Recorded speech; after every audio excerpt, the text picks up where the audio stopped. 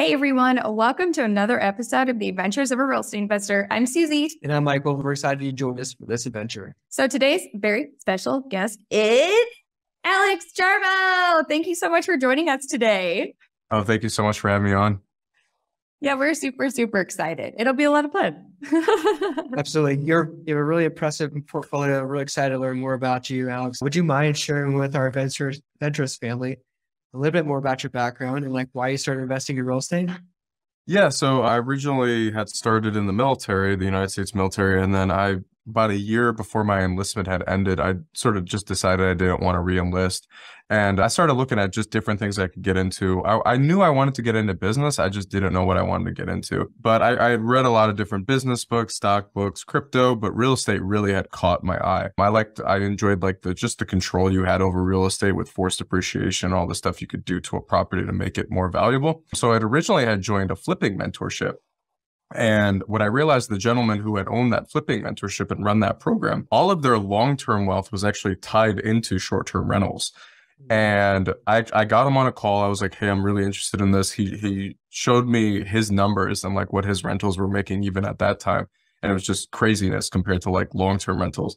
Yeah. And so he had helped me choose a market, which the market that I currently live in, Asheville. So the day I got out of the military, I moved straight here, um, got my broker's license. Yeah, got my broker's license, and then I just started looking for a property for myself. What, why, how, how I got into real estate development was just I couldn't find anything that was either at that time in my price range or it wouldn't like anything that I was looking at that was in my price range would it have done well as a short term rental. And maybe would have done well if I put a long term tenant in there, but not necessarily a short term rental. There's nothing unique about the property.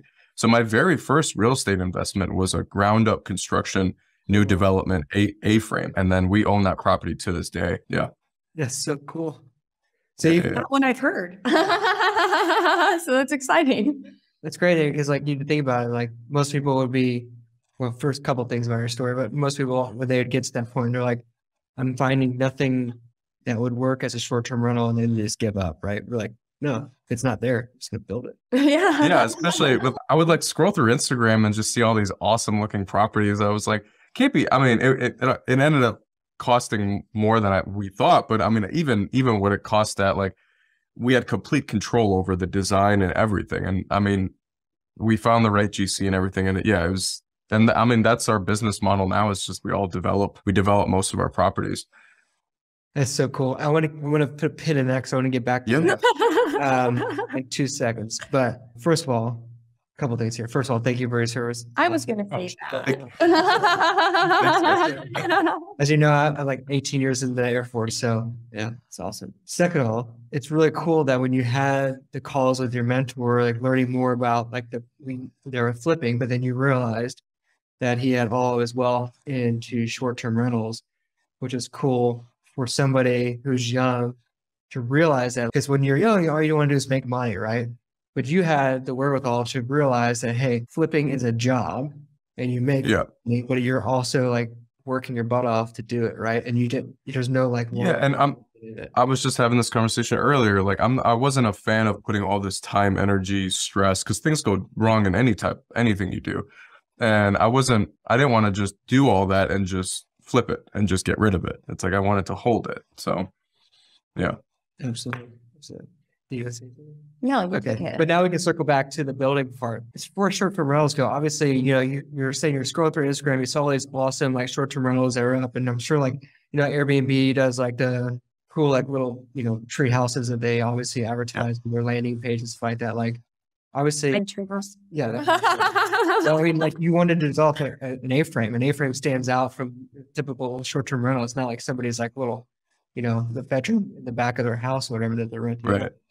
What did you read, or how did you know exactly how you wanted to build and how you wanted to design the short-term rental? Did you have experience, you know, staying in a bunch of short-term rentals, or? yeah, no, not at all. I mean, so I I had the experience of seeing just the long-term rental stuff through just the group I was a part of and the flipping mentorship. Mm-hmm. So it wasn't necessarily okay, how good can this go? It's okay, what's my exit if this doesn't work out? So I mean, no matter what business you're in outside of real estate, like you always should be thinking of the exit in mind. Us real estate investors, we already do that. It's like, okay, how long am I going to hold this for? Maybe I hold it forever. But I, I thought of the exit in mind first. And I was like, if this doesn't work out, which I, I had a feeling it would have just by looking at what was renting on Airbnb compared to what my mortgage was going to be. I had a feeling it was going to do well. Not a feeling, like I looked at my numbers, but my exit was either renting it out as a long term rental or just selling it. I mean, this was back in 2000, was it 15, 16? That, I mean, we were still considered in a really good real estate market. I mean, even today Yeah. we are, but yeah. Yeah. Yeah. That's really cool. I mean, with developing your own property, you, you said there's you always think about the exit. There's multiple exits there, right? If you have if anything happens, or you could sell it, right? That's an exit strategy. If the short term rental, obviously short term rental is another exit strategy, or or you can just long term rent it, right? Or medium Yeah, term. you can you can midterm rent it. Yeah. Yeah. So and the other thing was like it was only the cabin's only 830 square foot. So it's I'm sure a couple would have like if if we couldn't do anything with it for any reason, I'm sure a couple would have came in there. And all of our properties are permanent foundation stick built houses. So anybody can get a mortgage on our properties. So that it's I'm sure a couple would have came in and purchased that thing in a heartbeat if we actually listed it. That's really cool. Yeah. It is. So, yeah, I love short term rentals. That's awesome. We only have eight, but I'm sure you have way more than that. That's really cool. But what, where are you? So, from that first development, I know your goal now. We're gonna, I'm gonna let you share it with the, the listeners. But like from that first development, it just worked out, and you're like, this is awesome, making hit or fist money. It's working out really well, things like that. Yeah, Like, yeah. And then what propelled you to kind of just, Yeah, so one one turned into two, two turned into four, and then I brought on investor capital. But what what really set me up to to sort of skyrocket a lot of the success we've had just in the last four years was that very first one, and I can literally talk two hours just on land. but I've I've heard I've I've talked to some friends that have done stuff similar to me in different in the states in different parts of the states. And we got lucky, not lucky, but we we found a parcel that we built that first A-frame on when it was it was two two acre parcels, so it was four acres. But one side of one acre or one parcel appraised for so much that it, it appraised for the purchase price that we were able to get the other one for essentially a dollar at closing. So mm-hmm. once that first one was built, we just turned around and got another construction loan and used that land as equity to qualify for the next loan. We ended up actually doing two smaller A-frame right next to each other. So there's three up on that little hillside. And then we just kept, I mean, as as we were doing that, property values were going up, up, up. And then some lenders in the short-term rental space really started, I think this was back in 2000, 17, 18, I would say 18, 18, a lot of some lenders in the short-term rental space started to come about. They're like, okay, there's, this is actually working, blah, blah, blah. There's money in this where I was able to do a couple cash out refinances and put that into other deals. And then I brought on a couple investors, couple JVs that I did. Um, and then I started raising capital last year, which I've, I've sort of not shut the door on that, but I'm not really raising too much capital right now. Yeah, that was sort of the evolution of that as I brought on my investors after my first four. And then what we're doing now with higher interest rates is we're actually purchasing these like cottage communities that are there aren't too many of them in each market. Like we just got one under contract that's seven cabins but interest rates go up prices go down. So we were actually get it able to get it under list price which was insane to think about even last year. So that's sort of uh, uh, my goal is to develop or purchase 650 cabins in the next three years. And that that is one way we're also we're doing it is purchasing these already communities that already have something like a, an established uh brand essentially. And then the one that we just got under contract has 10 to 12 acres attached to it where we can develop more properties on it. So that that's how i plan on getting to that big number is by both developing my own projects but also just in cap like bringing on some of these people that want to sell out these cabin communities as well. That's so cool. And so, listeners, if you didn't hear that, I'll repeat that again. 650 short term rentals in three years. That's, Yeah, and I, I like what you said there because I think I sent it to you guys as cabins. I'm down to do. I'm completely open to doing like boutique hotels as well. I think that's going to be next year. Is uh, doing like some conversions, like metro in the metro areas, condominium conversions into boutique hotels, essentially. I have a question for you. What about, and this is just like totally random, but boutique Yeah, hotels yeah. ain't like on places like Route 66 or like the nostalgic Yeah, hotels instead of in metro areas. yeah, yeah. No, so I mean, I just I, it's funny. I, all of my properties are rural. Like uh, when I say metro areas, I just think, yeah, but you said like boutique hotel in like more nostalgic areas. That that'd be phenomenal. And it's it's interesting because I don't know if you guys have played around with influencer marketing for your short-term rentals, but it's it's one of those things like it's truly like if you if you build it, they will come if you have the right influencers marketing the property. Because people don't care where it's going to be at. 'cause It's like the person that they follow stayed at the property and they thought it was cool. So we use a company called Stayamo that that will link up essentially property owners or hosts with influencers that have any type of and a lot of times you're just trading your vacancy days for content. So Yeah. not- it's a win it's a win-win on both sides. They get a free stay. A lot of times they're like doing like a big push in media through your state or city. Yeah, it's a, it's truly a win-win. We just did our first one and I, the video hasn't published for it, but I was like, okay, this is really cool. Like this is something either if you have a direct booking site or you can just push them to your Airbnb link. It's it's a way to market your property where it's like a truly a win-win. That's so cool. Yeah. I never become an influencer. Yeah. yeah. Free standing. Uh, I have so many questions. Yeah, yeah, let's do it. I got I got all time. Be here for a while. yeah, I love it. So first question, building these short-term rentals, are you finding investors, like one-off investors who want to buy them and you're building them for them? Or are you building and fully them yourselves or both? Yeah, so I I won't I won't build or manage anything that I'm not an equity partner in. Uh, so when I I do prefer doing the JV model over the syndication model. Now, granted, I am doing some syndications, but it's it's with fund managers that it's not my syndication, it's their syndication. I'm essentially the deal finder and the operator for those. So I personally like doing just one-offs. And when I say one-offs, I mean I have one investor right now, just one investor where we're building six cabins together in a cluster development. So one investor bringing up all the capital helped me guarantee the loan. And then I take each deal's a little bit different, but I take some sort of equity partnership in that. And then there's a management fee that goes because I manage the properties through my company as well. So there's a management fee attached to that as well. Yes.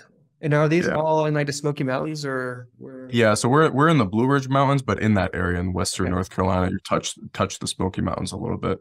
I, li- I like mountain markets. They tend to be a little bit less seasonal. If you have a mountain market with a unique property, usually during the down season, the property becomes the experience and the attraction outside of the city, and it's flip flopped during the high season.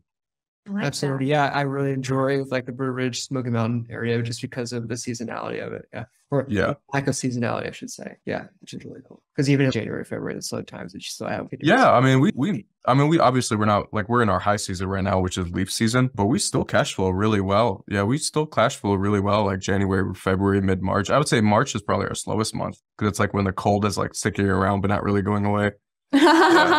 Everyone's like, okay, we've just done six months of it. We're done now. Yeah, yeah, And it's really cool that you show lenders too. That's another questions because our property we converted it. And it's like a, a multifamily property that we converted short-term rentals. But getting a loan on that, they will only underwrite to what the long-term rents would be. of the Yes. Because And that that's where that strategy came from was that we actually did our first one as a second home loan. Yeah, so that I that's that's a strategy people can do if they want. Now, at that time it was only 10% down, which is nutty because I think now it's like 20, but still, I mean, you're if if anyone who's getting like a residential construction, I try to my very first one was a two-time close loan and we can get into that, but I recommend just real quick anyone who gets a construction loan to do a one-time close loan because you don't have to go through the closing process twice. okay, Yeah. you close and you get the money and then you build. Yeah, and then it goes immediately into perm. It just goes from an interest only payment into a permanent fixed rate mortgage once you get the certificate of occupancy.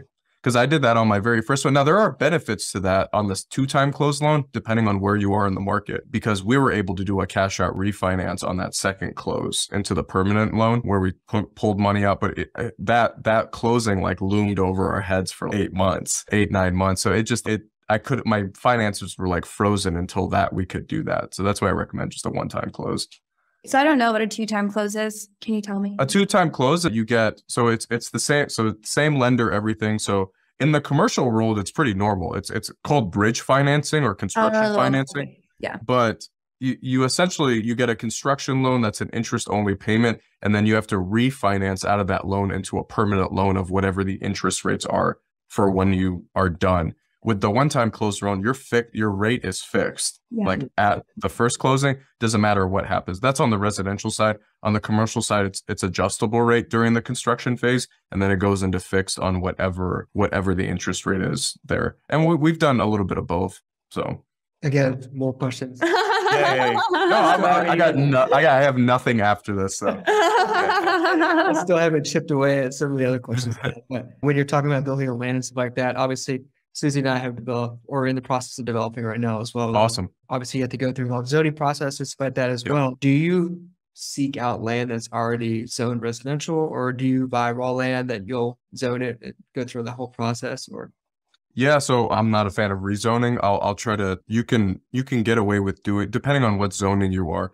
Like the six cabins that we're building right now, that's all residential. It's not commercial. There are commercial lenders out there that will lend on residential because you're essentially building a business. Like you're building a cabin community outside of the real estate that you're developing. And it's really cool. People in the States are investing in the States. You can get SBA financing on this stuff, like 7A at some pretty good the rate is higher, but the the down payment requirements are lower, which is phenomenal. So that's what I forgot your original question. I'm sorry. In in terms of the financing piece. yeah, I just the question was just asking if, if you go after any land that's not zoned. Yeah, I mean, I yeah. everything is zone everything is zoned correctly for us. Like we we we we're not afraid of our county or city. We we just had a phone call with our county official, like our planning department this morning. You you shouldn't you shouldn't try to tiptoe around those people. No, I mean some people do it. Like Asheville, North Carolina itself does not allow for short-term rentals. So we just pull up the map and we invest just on the outskirts of it. So the and yeah, uh, we, I I try to get we have to get short-term rental complex permits for anything that's over three units. Honestly, most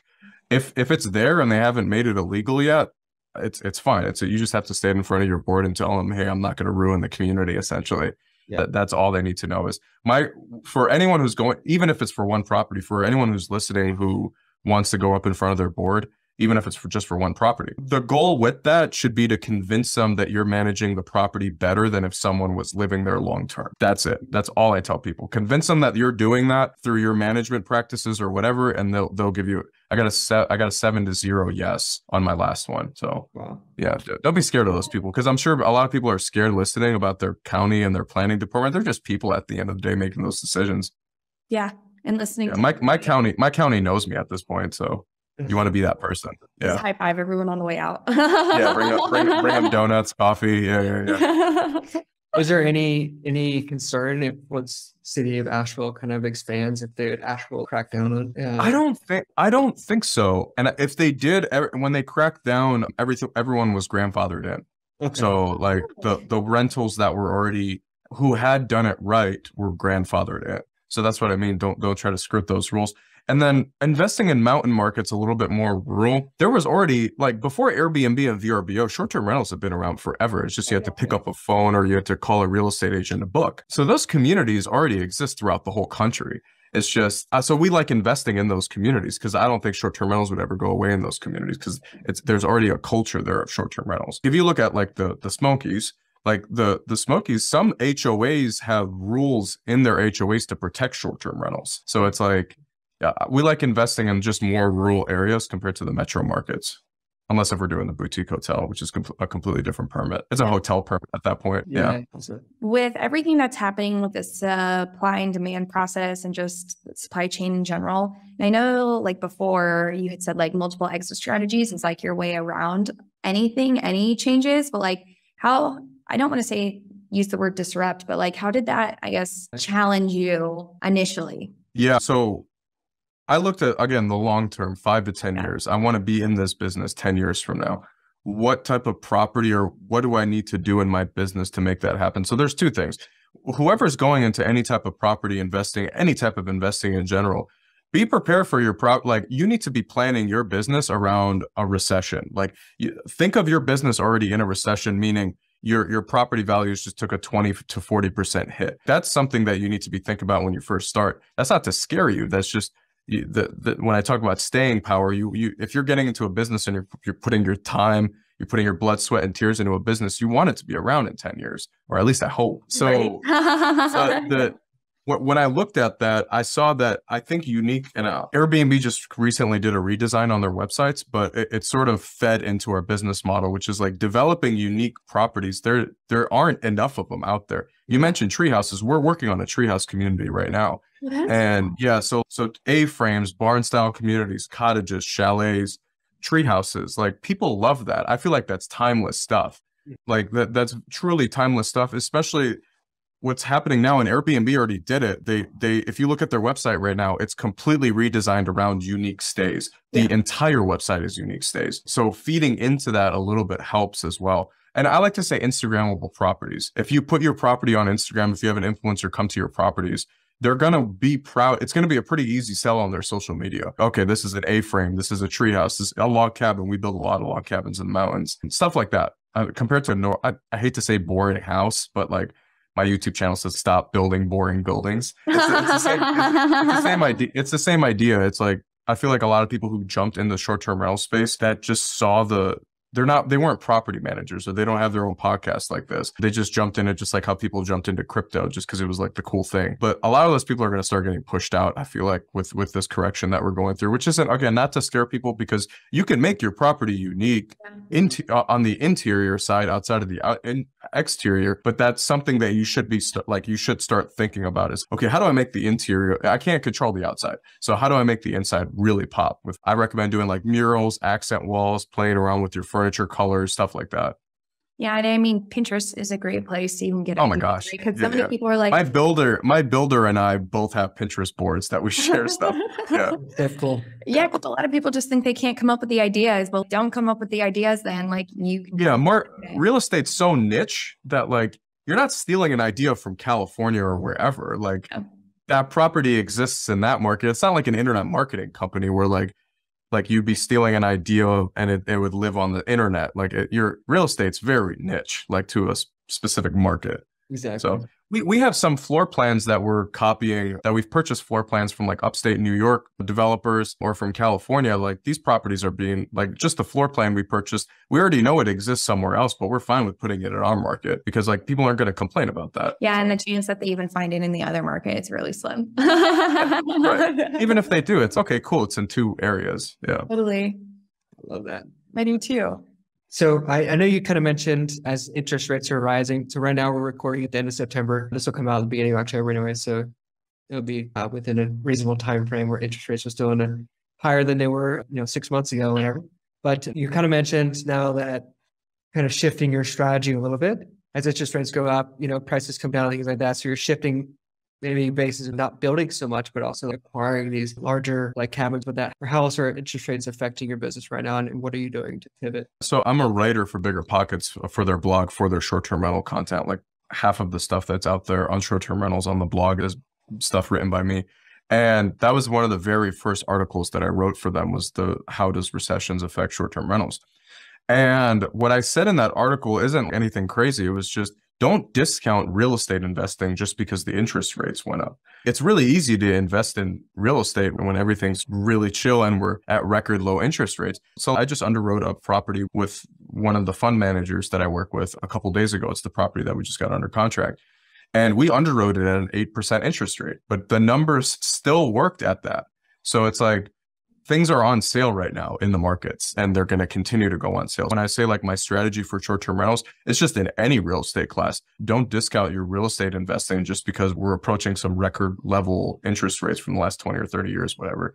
That, that's what I would say to anyone listening. Go through the deal. Stick to your parameters. Maybe you have to change a couple things. You're, you might not be making as much money on the deal, but if you can cash flow and you're comfortable with that cash flow, it doesn't matter what the interest rate is. You if you can make it work in this market when the interest rates drop, because what goes up must go down and the other way around. Once interest rates drop again, you'll be able to refinance out of that interest rate and you're going to cash flow even better. And then uh, it just in general as well, just a general question for you, Alex, just like how do you maybe it's addressed in that this that article you wrote as well, but like how how do you expect the short term rental market if there is some kind of economic downturn in the future? How do you expect that the short term rentals to be affected by it? Yeah, so people don't stop. I'm sure you've heard this already. People don't stop traveling. They they just instead of taking the extended Europe vacation for two weeks, they're going to take an extended week vacation wherever they live, a couple hours away. And that's one of the when I talk to some students that I teach on what we're talking about. One of the things that I tell them is, whenever you read a real estate book, they're like, you need to start in your backyard, and that is true for short term rentals in some cases.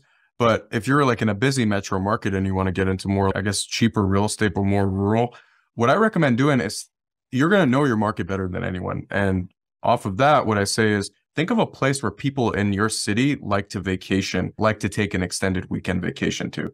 that market's going to be an hour to two away. I like to use the two extreme examples in the States of people in New York City like to go to upstate New York. They'll drive four hours for a weekend for an upstate New York trip. And then in California, you have San Diego, Big Bear Lake. People will drive two hours, hour and a half, two hours up there. Yeah. And those markets tend to do better. People will still be traveling to those markets and if you do them if you do that strategy with a unique property people will still be coming to your property. Because we saw it. I saw it during covid. We're still at 95% occupancy in all of our properties. It's like we're going through and i don't really consider what outside of the first three months of covid i don't really consider that like an economic downturn because people still traveled. It was just they traveled differently. Yeah. Obviously, you know, we could you sit here and talk for hours, Alex. Uh, I love it. And I really enjoy it. It's like something that we don't really talk about but Susie and I have been trying to get into a short term rental down in the in the Smoky Mountains, Blue Ridge area. So maybe we're talk yeah, if you guys are ever in this area, feel free to stop by. We'll do absolutely. Just yeah. down in Nashville for sure. I have one question now. Actually, what's your favorite yeah. thing short term rentals? Mm. I just I love the experiences that we're creating. Like you actually, I mean, you go through your reviews, and we've had people like do like small little weddings at our properties and stuff. So just seeing the pictures and stuff like that, that was one thing that I wasn't fully prepared for, you're always going to get a bad review, right? So it's like one of our very first A-frame has 260 reviews at this point, and it's obviously there are some bad reviews scattered in there, but that's my favorite thing is seeing some of the experiences. We've I remember specifically a gentleman. Um, he had lost his wife, but they had always traveled to Asheville as like their yearly trip. So he decided to travel by himself for the first year without his wife to our property. Nothing beats that. That just gives me chills just talking about it. That's really cool. Yeah, yeah. Speaking of traveling and going on vacations, things like that, that brings us to our adventurous four. These are four exploratory questions we ask all of our guests. Alex, are you ready? Yeah, let's do it. so the first question is: Where is one place you wish to travel to and why? Wish to? So my wife and I, my wife and I are Middle Eastern, and we'd love to. We we did our honeymoon in the Maldives, so that would uh, be the answer to the question. If I didn't, we didn't already go there because that's like the epitome. We had a cabana over the water and everything. We did a layover. We did, yeah, we did a layover in Dubai. We wish we would have stayed like a week in Dubai prior to that. So that's going to be our next big trip is Dubai. That's yeah. That is cool. Dubai is awesome. So the second question is, what is one thing on your bucket list and how are you leveraging real estate investing to achieve it? One thing on my bucket list is to, and I'm, I'm slowly getting there, but I want the, the point of a business is so you step away from what you do full time to to pursue your business. And you could get the issue with that sometimes is you can get trapped in that. You're working 70, 80, 90 hours trying to build your business. So the goal, I think, as a business owner is to be able to disconnect from your business whenever you want and mm-hmm. have your business run itself. So when I say bucket list, I want my business to be able to fund my lifestyle, not the other way around. So that's what that's what my bucket list is in the next six months to a year is com- not completely stepping away because what I enjoy doing is stuff like this, the podcast, putting content together, and looking at pu- putting together communities together, like designing them and stuff. But in terms of the day to day stuff, I want to be able to step away from that. I like it. Yeah, yeah. so the third question we have for you, Alex, is I'm gonna change this up a little bit, but here, here it is. What is one piece of advice for someone who wants to start investing in short-term rentals? Yeah, you need to be like, no matter what you do, you need to be like laser focused in whatever you do. If if you're working a full-time job, I recommend setting aside two to three hours a day. One of my one of my favorite books is The One Thing, and it talks about two to three hours a day on whatever, no matter how much time you don't think you have, you could dedicate 30 minutes to something. Yeah. Um, so that, that's what I started is just like laser focused three hours a day. I put the Instagram away, I put the TV away, and I just focused on that. So just being hyper focused on, on short-term rentals, consume as much as content. There's so much free there's stuff like this. There's so much free content out there. Yeah. yeah. So then our fourth and final question is: If you had unlimited resources available to you, how would you leave an impact? Yeah, and we, we we're my wife and I are actually working with this right now. So we're we're establishing a 501c3 for my. So we're both my wife and I are first generation American, but my so I, I served in the Marine Corps, but my uh, my family's originally from northern Iraq. That's that's where we're born and raised, and a couple of her parents in villages and my parents in villages, which is interesting. But during like the wars and everything, a lot of that area was like destroyed. And that's that was like sort of like the setting of the Bible, essentially. No matter what your religious preferences are, like that was the setting of the Bible, is like where my parents grew up. So we we speak Aramaic and I'd love to we're putting together a 501c3 to help rebuild some of those communities that were like impacted both from the war and then also like when ISIS took over that area in 2013. Yeah. Cool. That is really cool. I love that. Yeah. Well, thank you so much for being on the show, I Really appreciate your time. Would you mind sharing with our adventurous family how they can learn more about you? I know you have a YouTube channel and things like that, like build with Alex or something like that. You just share that, whatever else you want to share with them. How they can get a hold of you. Yeah. Yeah, so uh, yeah, Alex Builds is the YouTube channel. It's a, a little blue treehouse logo. If, if you guys are having trouble having find it, finding it, I just essentially I was going out to all my properties and I was like, I'm just gonna bring a video camera with me. So we talk about yeah, we talk about real estate development and then we talk about some management stuff as well, just some of the tools I'm using in my business.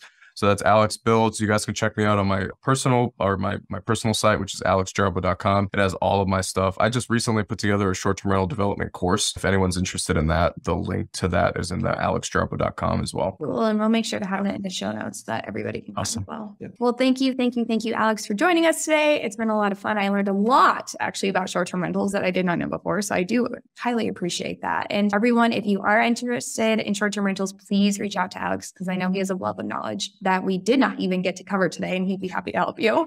Awesome. I appreciate you guys. Absolutely. So until next time, explore more, adventure awaits. Woo!